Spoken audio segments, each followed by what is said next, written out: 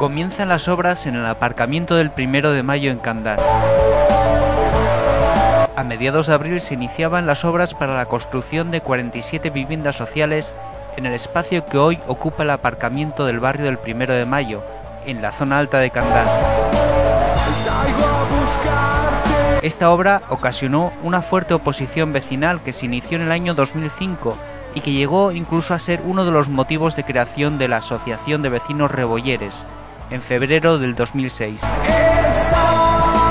La Asociación Rebolleres, que aglutina a los vecinos del barrio de Primero de Mayo, elaboró una serie de alegaciones dirigidas a organismos regionales y estatales y también a la Comisión Europea, con la intención de paralizar el proyecto de construcción.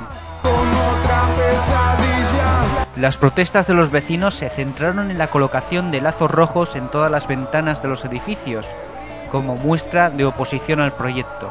También se realizaron pintadas y diversas acciones divulgativas. El objetivo era dar a conocer a la población de Candás sus demandas y concienciar a los candasinos sobre el daño que provocará la futura urbanización.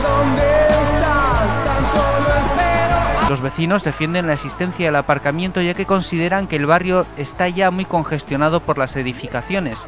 Critican que la administración no ofreciera un solar alternativo para las viviendas y también advierten que el aparcamiento del primero de mayo es un aparcamiento estratégico que permite, en especial durante los meses del verano, a los visitantes poder dejar su coche a la entrada de Candás sin tener que entrar con el vehículo en la villa.